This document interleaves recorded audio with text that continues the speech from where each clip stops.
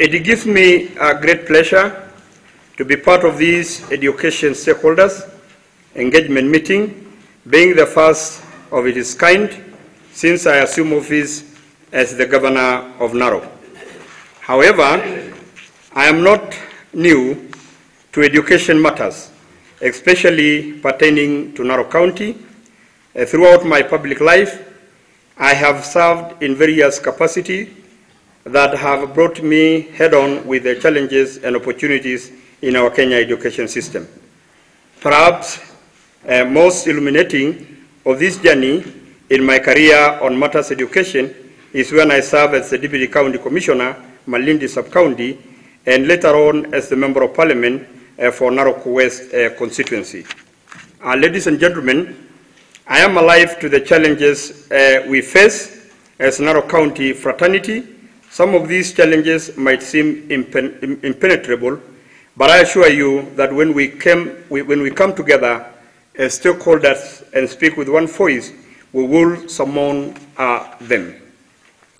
I have uh, noted that over the years, the overall uh, performance of Narok County School compared to other counties has been going up uh, steadily.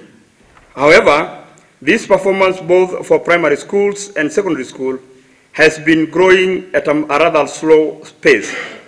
That indeed, as we sit here today, we must all ask ourselves what needs to be done to, uh, to accelerate uh, the growth.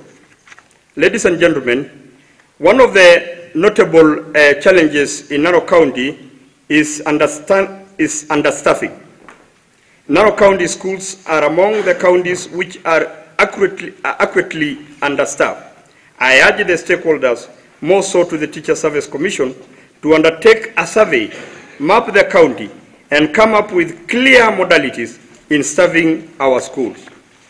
On this matter of staffing, clearly our county faces similar problems and challenges as those counties in, Narok, in northern eastern Kenya or hardship areas. In northern and northern eastern Kenya, the entry qualification for teachers is low compared to other regions.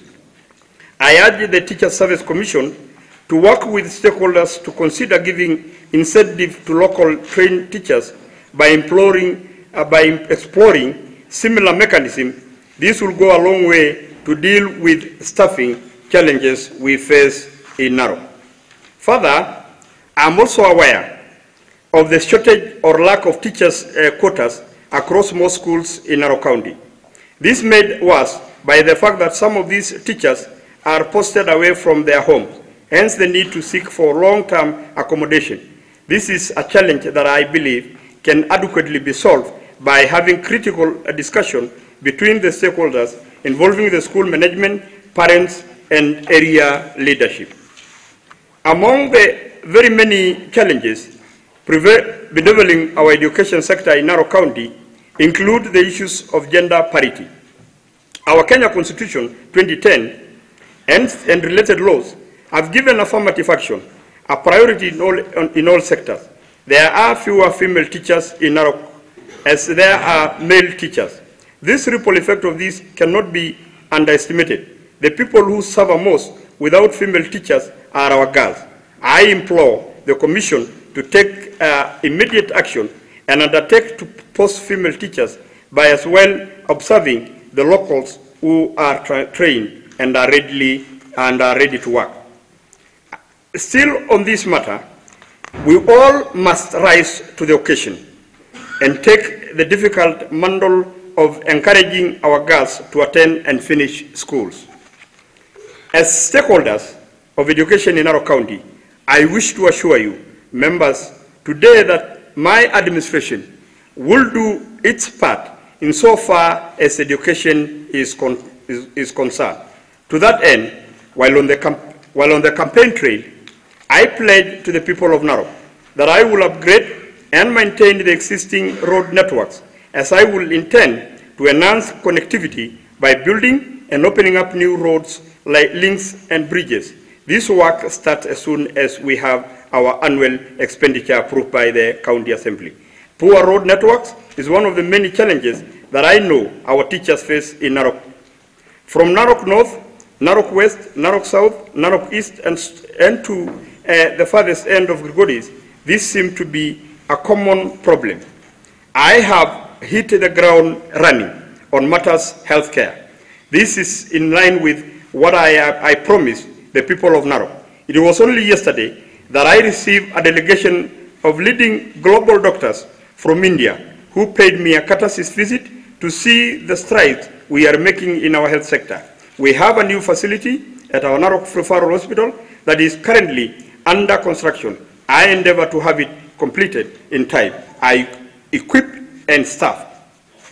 Once complete, the referral hospital will be an, a transition to level 5 teaching and referral hospital.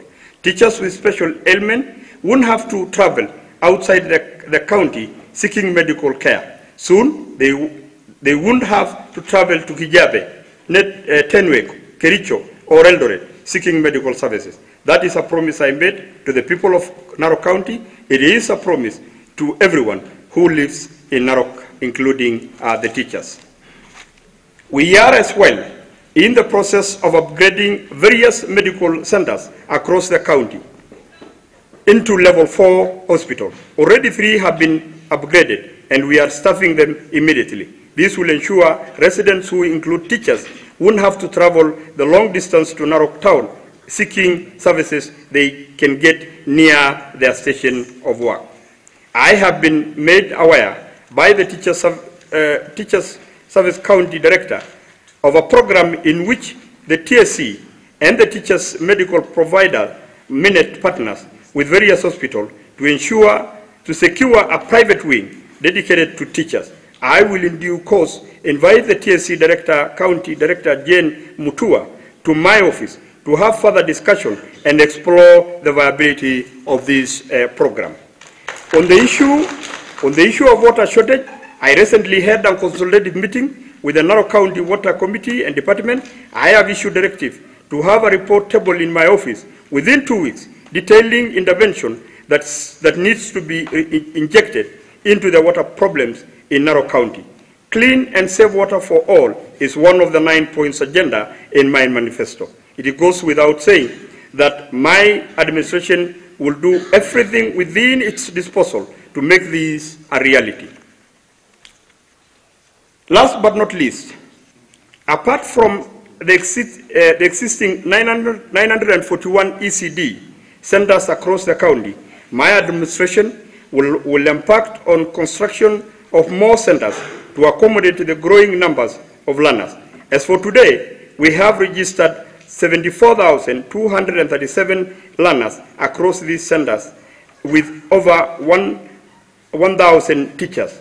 Of these, 854 teachers have been trans transitioned to permanent and pensionable terms. This number of teachers is still inadequate, and it is in our plan to recruit more as soon as we, our annual expenditure is approved by the County Assembly.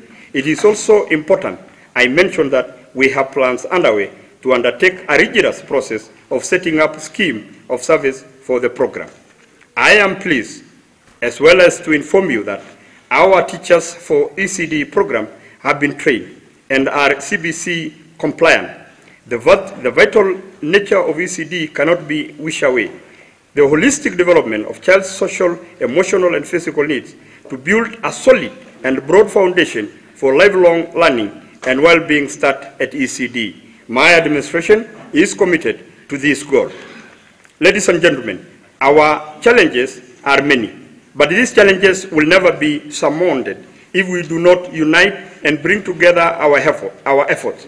These challenges will never come to an end if each and every one of you will not do their part.